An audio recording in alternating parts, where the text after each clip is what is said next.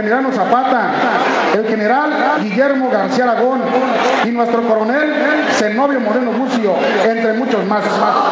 En virtud de la inconformidad social, el pueblo de México, cansado de la forma arbitraria en que gobernaba el general Porfirio Díaz e indignado en que más del 40%, por, más del 40 de las tierras mexicanas pertenecían a tan solo 480 hacendados, quienes mantenían en la ignorancia y en la miseria a millones de campesinos y que grandes capitalistas extranjeros controlaban los ferrocarriles, las minas, el petróleo y las haciendas.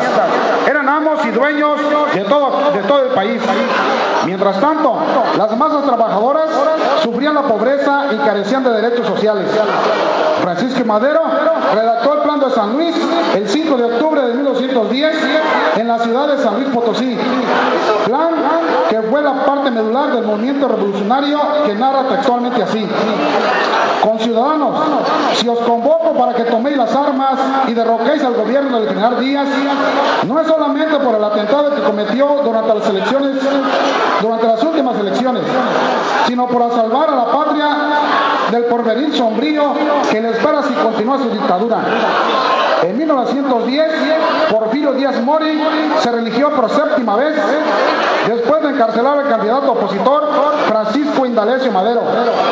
Pero este al salir de prisión hizo un llamado a la rebelión nacional y fue seguido por líderes populares como Francisco Villa, Emiliano Zapata, Venustiano Carranza, el general Guillermo García Aragón y por último nuestro coronel Zenobio Moreno Bucio, que a la muerte de Madero se levantó en armas en nuestro municipio.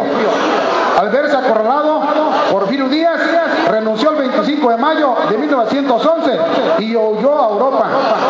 Victorioso Madero restauró la constitución de 1857 e implantó el sufragio efectivo, no reelección.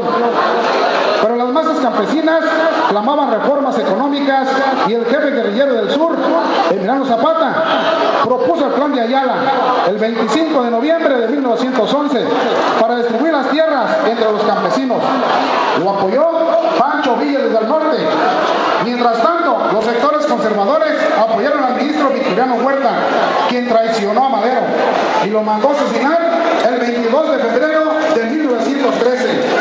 Después de años de caos político y a fines de 1915, tomó el poder Venustiano Carranza, quien en 1917 promulgó la Constitución de Querétaro, donde se implementaron importantes reformas como la jornada la indemnización por accidente de trabajo, la libertad de creencias, la reforma agraria y la nacionalización del petróleo. En 1920, Venustiano Carranza fue asesinado por los partidarios de Álvaro Obregón, quien poco después tomó poder. Para muchos, la muerte de Carranza marca el fin de la Revolución Mexicana.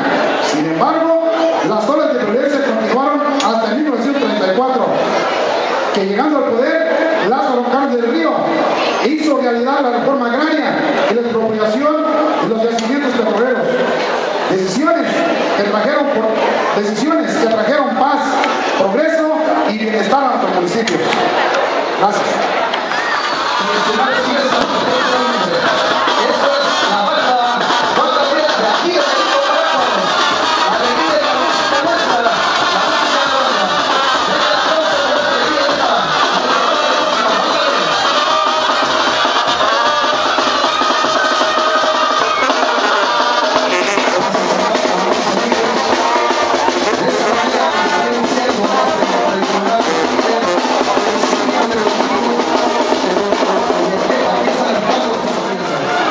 el DIC municipal también haciéndose presente, este eh, DIC municipal como siempre también aquí activo, y el sindicato de empleados del lugar del ayuntamiento eh, que dirige el señor Rigoberto Olivares.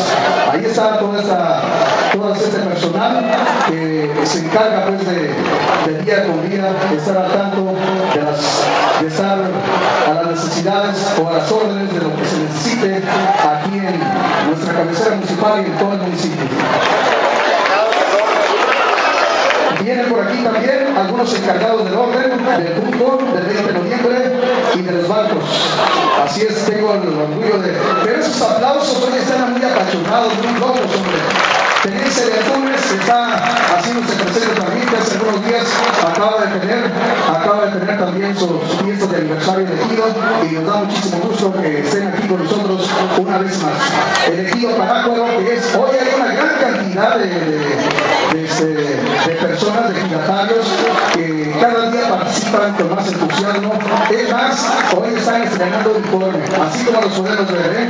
Vamos a agradecerles a todos este equipo de Parácuaro, que fue uno de los primeros en toda la región en organizarse, en pedir tierras.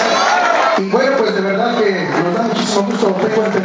Alrededor de unos 140 o un poco más de ejidatarios. Hoy vemos prácticamente desfilando a un 80 o un 90%, una gran cantidad de verdad. Y hay que agradecer.